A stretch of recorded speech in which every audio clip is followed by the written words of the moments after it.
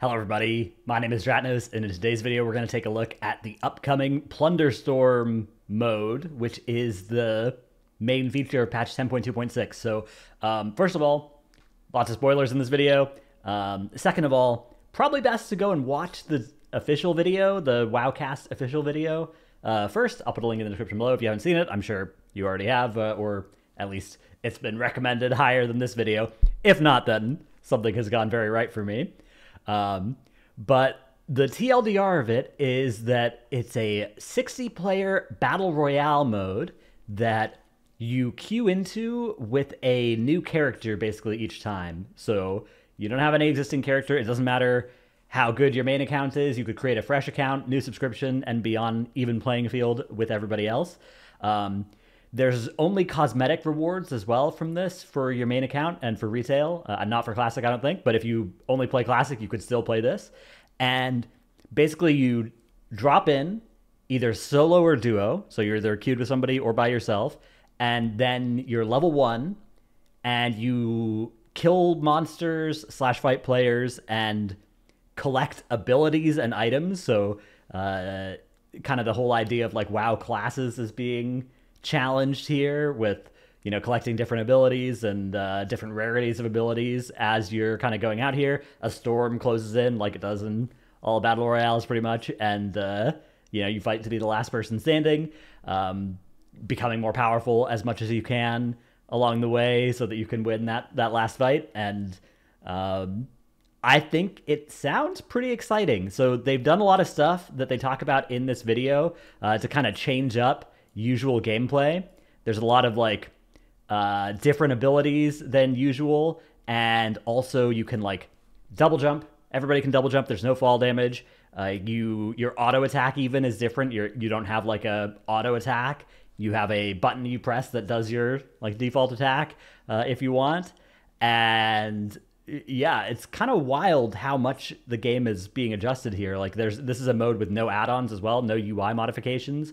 Um, you load in, and you know, basically, you just get the. You, that isn't even a way that you know more franchise players will be advantaged compared to newer players. So, um, the goal as well is 10 to 15 minute long matches, which is pretty sick. Um, very kind of sped up version of battle royale in a lot of ways here i'm reminded of just blizzard in general like they they've sort of taken genres that have done well like trading card games with hearthstone auto battlers with hearthstone battlegrounds um, mobas with heroes of the storm and they've done this thing where they're like okay why does this need to be 30 minutes? Let's make it 10 and uh, i think that's sort of what their thought process was with the battle royale genre as well. Now there is let's see. Uh, rewards for this are like mounts, Mog. There is an eye patch and a tabard that you can get for winning uh, one, but I think you only have to win one to get both of those. And uh, other than that, it's just a renown track that you progress by playing, and you can get all this stuff on it without ever winning, uh, except for potentially that eye patch and tabard. So, uh, pretty cool. And uh, there's yeah, no add-on support. You can either play solo or duo. It's probably going to last about six weeks. Several several mentions of a six week time frame in these interviews that they've done uh, with like PC Gamer here. So uh, that is pretty good. Um, to a, pr- a pretty good length for this. I let's shift now to I guess kind of opinions rather than explaining what's going on.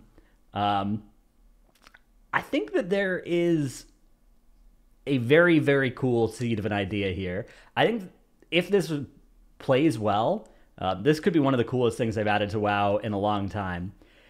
I think that there are kind of two different sides of criticism that exist for this. One is coming from this place of like you're comparing this to what we otherwise would have gotten, and you're looking at this and you're being like, okay, it was this or a raid tier, and I want the raid tier. And to some extent, I empathize with that. I love raid tiers. You know, new raid tier coming out is uh, extremely big for me.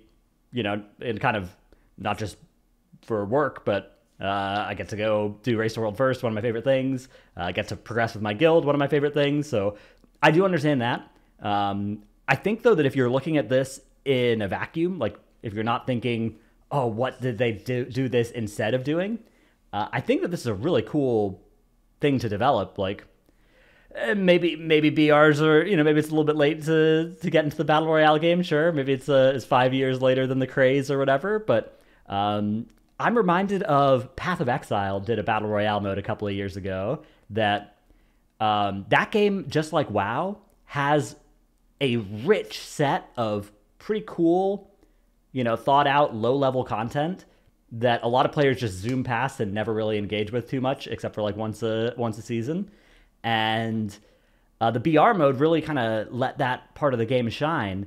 And I think we've seen with like Season of Discovery as well. You know, the idea of low level but sort of customizable class content is really appealing to a lot of players. Now, Season of Discovery did that on the classic skeleton of sluggish as hell, you know, you're moving around. There's you, know there's no double jump. There's none of that stuff. But you're uh, you're sitting there. You're killing stuff. Your mana is an issue, right? All, all the kind of stuff about classic where it's like, oh, this is awkward.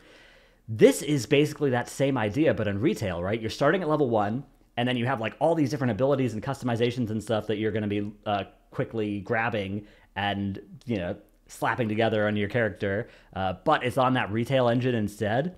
That in and of itself, I think, is really exciting um, separate from the whole battle royale mode. I think battle royale is a good way to make that work though, because that justifies doing you know that that process over and over again. Um, I think that you know like there are other game styles you could do that with, like like a roguelike or whatever uh, could could fit in that as well. Although they kind of already tried roguelike with Torghast and uh, it didn't work out great, which does I think bring us to the drawbacks of this, which is there's a decent chance that this is one of those ideas that sounds better than it plays. That does happen. Uh, in fact, it would be the second time in five years that we've visited Arathi Highlands for a mini game that a lot of people were hyped for.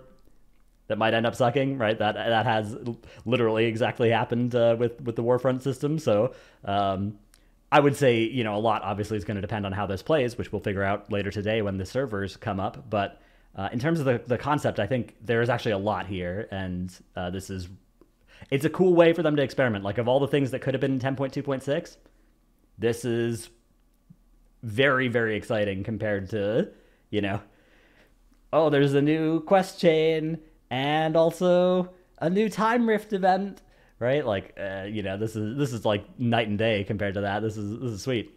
Um, the other line of criticism i've seen that i think is also valid but is much less likely to be a real issue is the the limited time nature of this. Um, I think it makes sense for them to release this with a limited time horizon on it at first, because if it is poorly received, you don't want to have just been like, yeah, this is the new big thing. This is what WoW is now. And everybody zones in and is like, well, this kind of sucks. And you're like, ah. And then you have to kind of like awkwardly sunset it or uh, kind of let it slowly fade into maintenance mode or whatever. Um, so instead, if you announce it with a limited time frame, if it's badly received or medium received, you can just be like, cool, as a fun experiment. Let's go back to WoW, right?